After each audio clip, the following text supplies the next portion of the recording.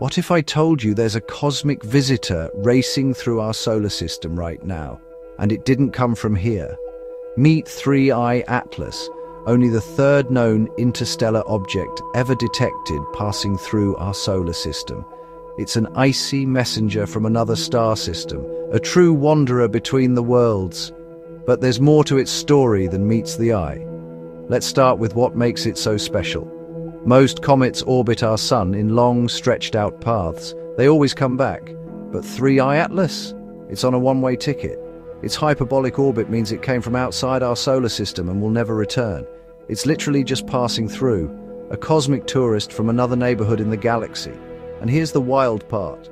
Scientists believe it may have formed billions of years ago around another star, possibly ejected during the early chaos of that system's formation. That means the material inside 3I Atlas could predate our own sun. Imagine. Frozen chemistry older than Earth itself. Now, there's been a lot of confusion online, so, so let's debunk one myth. Some people think 3I Atlas is connected to Oumuamua, the first interstellar object we spotted in 2017. They're not related. Oumuamua was a rocky, cigar-shaped object that didn't have a visible tail. 3I Atlas, on the other hand, is a true comet, icy, active and glowing as sunlight hits its frozen surface. Think of it as the difference between a skipping stone and a snowball with its own built-in fireworks. As of early November 2025, 3I Atlas has been passing near Mars and is now visible through small telescopes just before dawn. Amateur astronomers around the world are pointing their lenses toward the eastern sky to catch a glimpse of this once-in-a-lifetime traveller. If you've got a decent telescope, look for a faint greenish-blue blur with a gentle tail, low on the horizon in the constellation Virgo.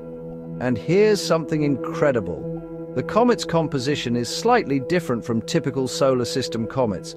Spectral analysis suggests its ices contain less carbon dioxide than expected but more organic compounds. That could mean the system it came from had a completely different chemical makeup than ours.